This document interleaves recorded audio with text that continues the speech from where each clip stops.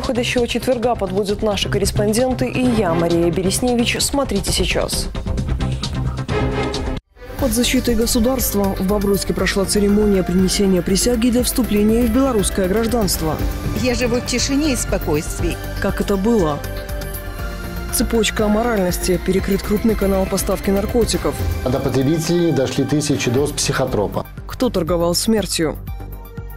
В полном метре наша история. Беларусь фильм представит зрителям киноленту «На другом берегу». Будут и дневные, и вечерние сеансы. Почем билет? А также национальная безопасность, выгодная альтернатива и школьная пора. Первый урок в школах пройдет по теме «Беларусь и я. Диалог мира и созидания». Сколько первоклашек сядут за парты?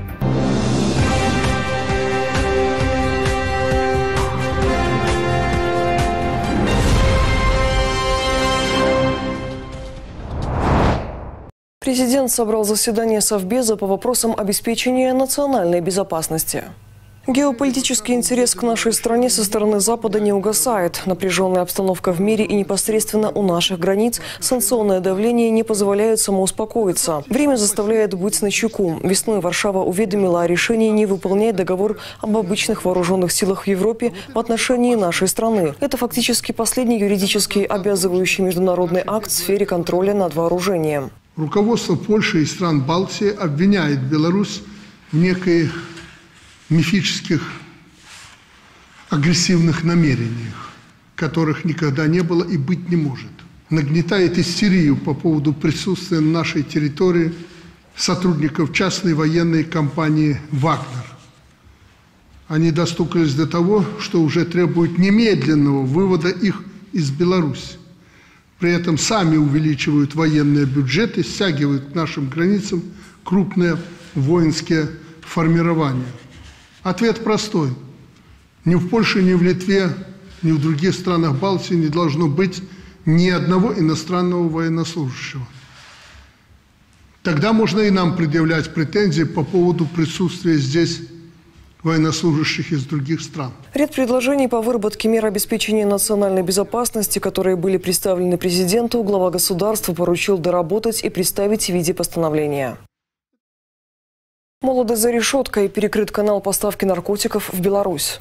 Оперативники обнаружили у 27-летнего минчанина около 4 килограмм особо опасного психотропного вещества. Фигурант оказался оптовым курьером виртуального маркета. Крупную партию мефедрона привез из-за рубежа для расфасовки и дальнейшей передачи на реализацию более мелким распространителям. Благодаря профессиональным действиям сотрудников милиции был пресечен канал поставки наркотиков на территории Беларуси, а до потребителей дошли тысячи доз психотропа. Возбуждено уголовное дело. Фигуранту грозит до 15 лет лишения свободы.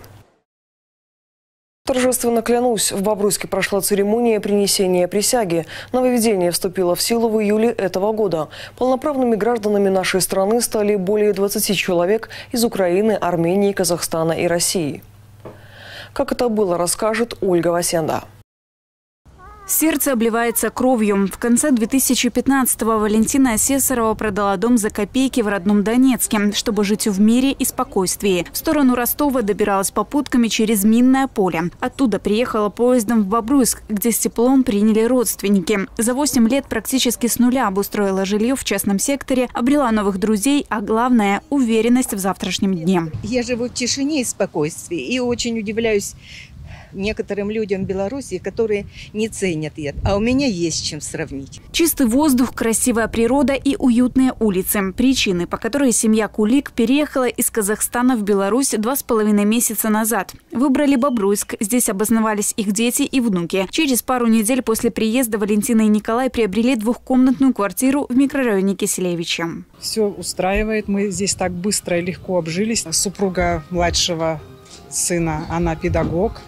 И как бы сразу здесь инновационная школа открылась, а ей предложили здесь место поработать. И, в общем, как-то все складывалось так, чтобы Дети приехали в Белоруссию, именно в Бобруйск. В июле этого года вступили в силу изменения в закон о гражданстве. Теперь, чтобы стать полноправным жителем нашей страны, иностранцы принимают присягу на белорусском или русском языке на выбор. В Бобруйске такая церемония проходит впервые. Дает клятву быть патриотом второй родины 21 человек из Украины, Армении, Казахстана и России. Торжественно клянусь соблюдать и уважать Конституцию Республики Беларусь и иные акты законодательства защищать независимость, суверенитет и территориальные ценности Республики Беларусь. Это было искренне, это было от души, потому что люди принимали присягу на верность белорусскому народу. Я думаю, что сегодняшнее мероприятие прошло на высшем уровне. Прежде чем получить паспорт, новоиспеченным гражданам предстоит сдать тест на знание одного из государственных языков – русского или белорусского. Этого можно избежать в случае наличия аттестата или диплома о получении должного образования. Все новации в закон позволяют иностранцам сделать осознанный выбор в пользу мира и спокойствия. Ольга Васенда, Станислав Чечерин, Бобруйск, 360.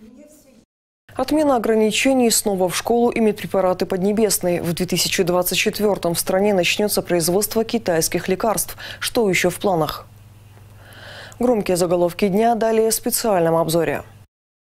В Беларуси с 1 сентября отменяются рекомендации по профилактике COVID-19. Речь об учебных заведениях, учреждениях здравоохранения, религиозных организациях и ветклиниках. Но необходимо соблюдать требования санитарных норм и правил, которые направлены на предотвращение заноса, возникновения и распространения гриппа и коронавируса. В стране заметно сократилось потребление природного газа, в основном благодаря выработке электричества на БелАЭС. К настоящему моменту станция сгенерировала 18,5 миллиардов киловатт-часов. Газоснабжающие станции за 7 месяцев поставили на 15% голубого топлива меньше, чем годом ранее. В стране в 2024 начнется полноценный выпуск китайских медпрепаратов в Великом Камне. Сейчас Беларусь приобретает в КНР не только готовые лекарства, но и около 500 фармацевтических субстанций, которые необходимы для создания медикаментов. Следующий этап – регистрация и локализация производства в Беларуси. На пороге нового учебного года. Первый урок в школах пройдет по теме «Беларусь и я. Диалог мира и созидания». 1 сентября двери распахнут 2865 госучреждений, которые реализуют образовательные программы общего среднего образования. За парты сядут более миллиона учеников, из них порядка 110 тысяч первоклассники. 1 марта 2024 в Беларуси появится новая система борьбы с мошенниками. Обмен информацией между банками и правоохранителями позволит оперативно блокировать несанкционированные операции. Многие транзакции можно будет приостанавливать до того, как аферисты успеют вывести деньги. За 2023 в стране зафиксировано 10 тысяч киберпреступлений. Приятная новость. Белорусам с 1 сентября повысят пенсии. Увеличение коснется всех видов по возрасту, за выслугу лет, по инвалидности, по случаю потери кормильца. В среднем прибавка 5%. Сумма у каждого своя. Все зависит от стажа и уровня дохода за время работы. На выплаты направлен миллиард семьсот миллионов рублей. В Первомайском районе э, повышение коснется свыше 29 тысяч пенсионеров. Также хочу отметить, что с увеличением бюджета прожиточного минимума с 1 августа были увеличены социальные пенсии. Во второй раз за год повысится и базовая ставка, а сумма вырастет с 228 до 235 рублей. Благодаря этому увеличатся зарплаты бюджетников. Дополнительную надбавку в виде 15% от оклада получат учителя и преподаватели за классное руководство и кураторство учебной группы. На другом берегу Беларусь фильм представит зрителям историческую драму.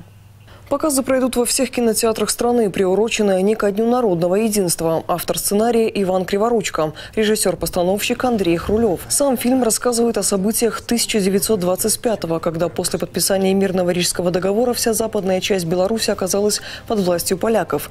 Местные жители четыре года ведут партизанскую войну. На территории работают агенты советской разведки. Но все попытки отстоять хотя бы собственную веру и церковь жестоко подавляются. Этот фильм будет демонстрироваться и в кинотеатре «Товарищ» и в кинотеатре «Мир». Для удобства наших зрителей у нас будут и дневные, и вечерние сеансы. Стоимость билета 3 рубля. Узнать время сеансов можно в социальных сетях кинотеатров. Это все из событий к этой минуте. Смотрите нас в интернете и соцсетях. Мы в эфире каждый будний вечер. Счастливо!